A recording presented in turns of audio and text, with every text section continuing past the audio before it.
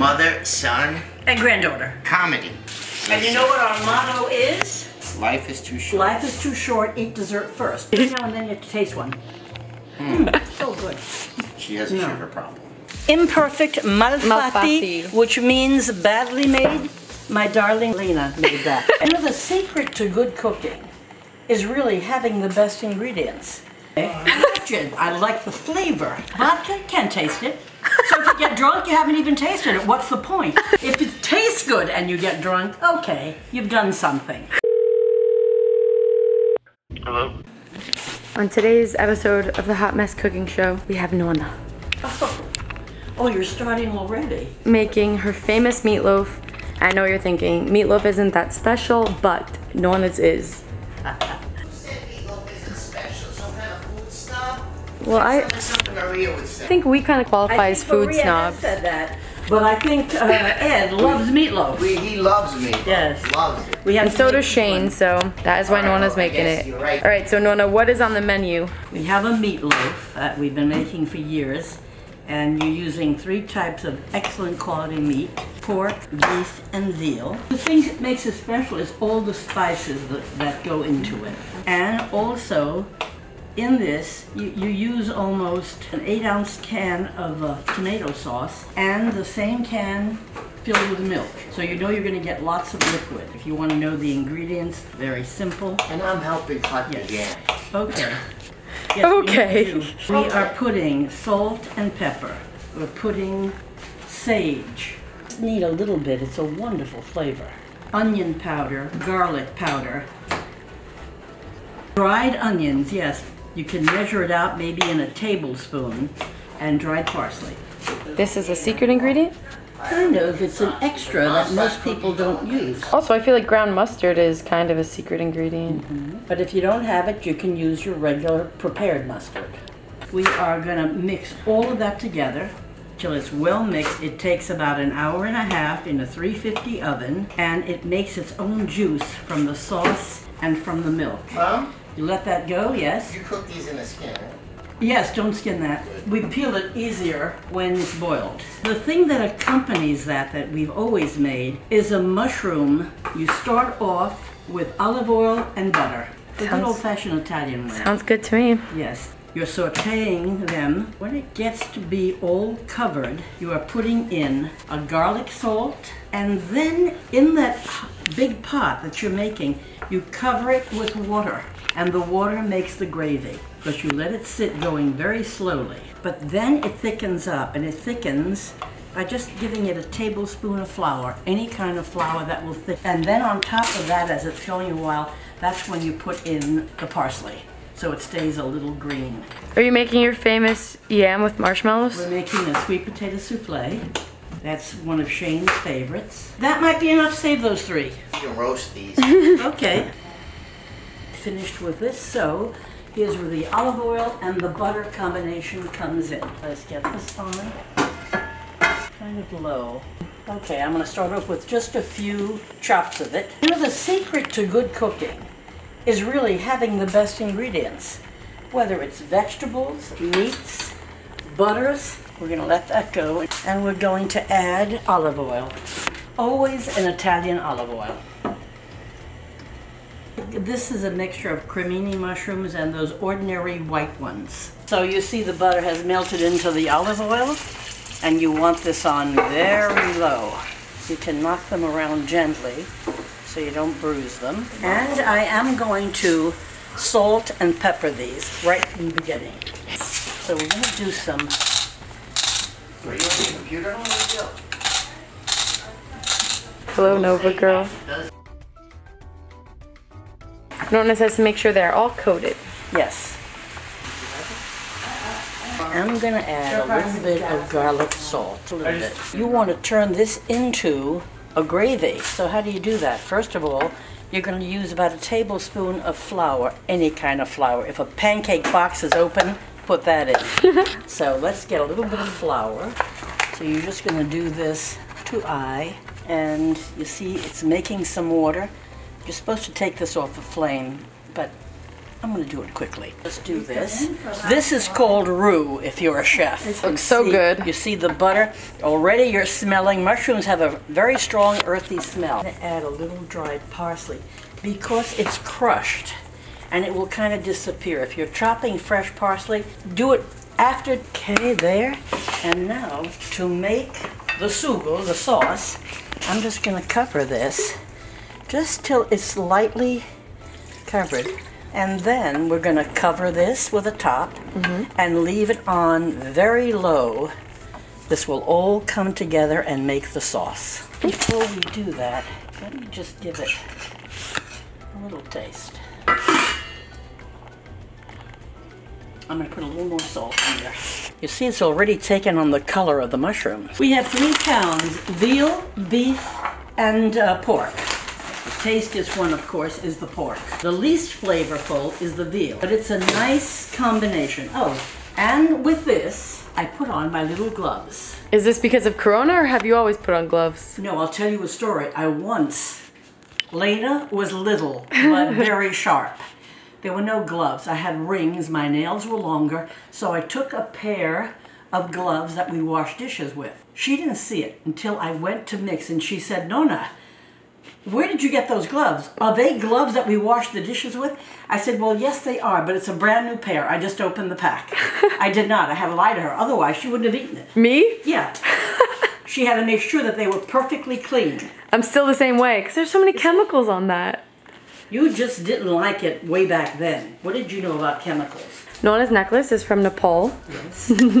What a combination. You can see what they are by the color. Yeah. So I'm just gonna break this now, and what you're gonna see me do is put all of the different ingredients. A little trick if you're adding eggs to anything this condensed, I'm always afraid it's not gonna mix enough, so what I do is I mix them. I beat them up here. Beat this up because you know it's just going to go all over and mix in much more easily. And this is contadina, a little Italian sauce, is always good. And then I fill up that can with a little bit of milk. That's gonna give it enough juice to make a gravy. And you don't waste any of it. That's right. I'm gonna start with a little, little chop. So you measure this out or do you just do it by eye? By now it's by eye, but this, you know, there's just a little bit of this left. It's all going in there. That's the kind of chef I know. Yes, dried mustard is very good. You uh, can control it a little bit better, but if you don't have it, prepared mustard is perfectly fine. Onion powder. Garlic lovers, it's garlic, a Oh. little extra parsley, Okay. garlic salt. Since you just put that in, you don't really need it. I think I did that already though. Sage. And sage, yes. Sage is can be very strong. And usually you rub it, so when you take it out, just break it up like that. You don't want too much of it because it can be very powerful. But I think this is going to be enough. That. The trick is to use Worcestershire sauce. It gives it another flavor, and you can measure out, I guess, a tablespoon. We'll put a little bit more than this. I don't know whether it helps. That should be enough. I'm just going to start to kind of push it together. I can't believe you brought gloves out because of me. Well, also, I don't want people saying, look at this, it's coronavirus. What the hell is she doing? well, we're on the same house, so. Yes, that's true. So before I put the breadcrumbs in, I want to see exactly how wet this is going to be. So I'm not seeing much of the parsley, so you know what I'm going to do? I'm going to add some more. The other things almost melt right away. A little green you can see. We should put the oven on. We're going to bake this at 350 for at least an hour and a half. Quarter to five. That's very. I'll tell you one other little thing.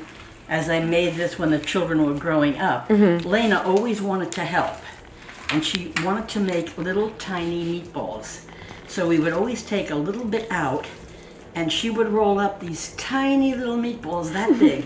Maybe we would do 20 of them. I can't get over the gloves. It's so funny because normally Nonna would never use gloves. And also, Nonno would very often, with his baker's hands, do the mixing for me. Yes. I said, Anthony, my, my rings, my nails. He'd say, okay, give me He'd that. do it for you? He'd do it. If you're a vegetarian, I'm sorry for this. Oh, sorry, go away. you eat baklava. you don't need meat. How many, More, more, more? more. Okay, now I'm gonna mix. Some people, when they make meatloaf, they soak white bread or bread in milk. I've never done that. White bread pref- grosses me out Usually it's white bread, and they want it to break down quickly, and it does, because there's hardly anything there. And uh, and then you're supposed to squeeze it in. I don't like that idea. My milk is in after the uh, tomato Okay, let's- sauce. Mix, mix, mix. I think we're gonna do three short ones. Normally we do long, long ones. And then you make little shapes like this. These are like mini meatloaves. All of a sudden, they're very trendy. So trendy. But do you know that a lot of people don't like meatloaf? Yes, They, I uh, do. Because whenever I say I'm getting so excited for you to make meatloaf, people are like, meatloaf? Yeah. 'Cause Maybe you- they're used to eating very simple meatloaf, no ingredients that they can understand. So meatloaf is kind of like, it is a simple dish, but you somehow make it so good that we always beg you to make it whenever you come out. Yeah, I, I think it's really the Worcestershire sauce, which I never know if I'm saying That's- that properly, yeah. and the ground mustard. The secret ingredients. Okay, in the oven we go. Okay, see you in an hour and a half. And then I'm gonna pour cold water in here. So, uh, no, I will say it. You see these little meatballs? You see these little perfect ones? Nonna made them. You see these imperfect malfatti, Malfatti. which means badly made? My darling Lena made that. So, Okay, but, we're in my gonna- defense, I was using a spoon while I was holding the camera. You know, at one point, you know I was what going did? like this. I put that, uh, we took a lot of, we didn't make a lot of them. So it melts down to almost nothing. So we need brown sugar, Okay, we're gonna put brown sugar in. cinnamon, Yeah, mom, just to save you some energy. You're gonna be No, so uh, tired. no, they were so uh, Soft, soft. did it. cinnamon, Mom, you're the man. You're the man. you're the man, Sound right. and nutmeg. Okay. Let's start with this. Four or five good chunks. I'm doing all of this uh, to the eye. So this is a light brown sugar, and it's always good to start off with a fresh one because it's soft. Have you ever had a brown sugar that has frozen rock? to a solid rock? So brown sugar, butter. Now, how about some cinnamon? Sounds like dessert. I'm excited. Cinnamon. Well, it is. I like that we get to pass this off as dinner. And this is Saigon. In the store, we use Madagascar. now, Nonna, I have a question. Do you ever beat people with a wooden spoon? Yes, I do. Uh, for I used to chase the kids. For kids. Mostly, I scared them, but every now and then. Who I'd give them a had the most wooden spoon offenses? Mark, Tony, or Paul? I'm trying to think. I think you always took it out on the biggest one, because he was supposed to be telling the others what to do. There you go, Dad. There you go. Although I must say, he was just wonderful to be Thanks, around. Mom. I enjoyed being a mother of boys. I was a good boy mother because I was athletic. If they ran, I ran too. okay, now I need a little bit of milk. Also to the eye, I don't measure it. Beginning to look. It's a beautiful color. It's a perfect fall color. Yeah, this is normally our Thanksgiving dish, but Yes. since Shane asked for it, Shane gets it because he's the baby. That's right. And he doesn't ask for much. how, are those, who? how are those little uh, meatballs doing? Oh, they're looking yummy. Let's taste one. Well, that might be a little hot. Okay. You didn't even take me half? Mmm, that was What? good. Someone taste this and tell me if it needs anything. Oh boy. They are think? trying Oh, to. great. Great. No more milk. It No. doesn't have to be any looser. No, no, it can't be any looser. There's plenty of moisture in there. Now And to for think it took you kids years to like this. Lucille and I are waiting for our gin and tonic. Well, you deserve it, chef. Okay, then get Kathy, moving. would you like a gin? If they pop up too much, we'll cut. Look at if I do this and put it in. It's a lot of marshmallow. Okay, on top. cut it. I'll cut in half. Well, go around and run around the block a little more. And it won't bother you. Why, Scott? Dad's saying it's a lot of marshmallow. So, Mom, you don't want me going in thirds. You, you're happy with the half. Oh, half? no, not thirds. That's too small. That's not too small. Okay. This is gonna puff up like, whoop. Oh, I shouldn't do that right away. What? I'm supposed to bake them first. Oh, just the potatoes? Yes, in the last cooked a lot. five minutes. Okay, they've been Out. cooked a lot, and then you, I'll have these ready for you. And- Yes. Yeah. All right. So we bake yes. the sweet potatoes for what? 45 minutes? Uh, 50? Almost an Blame hour. it on the alcohol. Alcohol? You No. didn't even make known That's anything. Right. Oh, yeah, don't remind me. You can't blame the gin and tonic that I haven't had yet. That's correct. I cannot do that. Don't do that. Isn't this fun? Mother, son, And granddaughter. comedy. Every Comedy. now and then you have to taste one. Mm, so good. She has a No. sugar problem. So do I. My granddaughters love me just the way I am. We check out the best desserts in New York City. And you had desserts first. Me, you, and Alessandra, just Yes. desserts. And you know what our motto is? Life is too short. Life is too short, eat dessert first. And we check the menu. We see what the desserts are. Just to we see how much food decide can have. exactly, and then you decide Got that. what shall I eat for lunch. Sometimes it's just a watermelon salad with feta. Okay, Elena, in, honey. Okay. In we go. This will take at least an hour, but while we're peeking in the oven, look at how well the little mini meatloafs are doing. Dad, we made three mini ones instead of two long ones, so they're extra ends. I love it because I love the egg. Right? Out that Pinot Noir sauce. I'm tasting the Malfatti meatballs Malfatti. made by my granddaughter, and they're delicious. Yeah, I didn't roll them with my hands. I used the spoon. That's a great word. Badly made, Mal- but very good tasting. That's my daughter, badly made meatballs. Excuse me. I'm just saying, that's what my mother just said about it. Salute a la familia. A la familia. You notice that we're the ones that have the cocktail. Lena is just taking the pictures. She doesn't Just have the camera. one yet. No, I'm drinking my mint water. I'm Lucille, this is delicious. You know, this is so refreshing. We can work for another two hours. Mm-hmm. we don't or yeah, please don't fall. Don't fall in any capacity, guys. No, no, no. I look where I'm going. I don't take chances. Yeah, but that's gin, Norna. That is the alcoholic's drink. That's okay. I like gin. I like the flavor. Vodka, can't taste it. So if you get drunk, you haven't even tasted it. What's the point? If it tastes good and you get drunk, okay, you've done something. You've done something. All right, post gin and tonic. Okay, we'll do this. You gotta take a picture of Shane's face when he's eating this. Because he's gonna swoon. One I'm gonna put in the center. More. You go around the, oh, I think you're fine. Put it back in? When that melts, we should be ready to sit down. Look who came to help. Did he take it out without burning himself? All right, Norna. Strongest It's perfection. you get the Oh wait, take this off. And voila! Ooh. That's, I think that is still on good. This is all. Oh, this looks really good. Shane, what do you think of the meatloaf? Tonight, they go one day.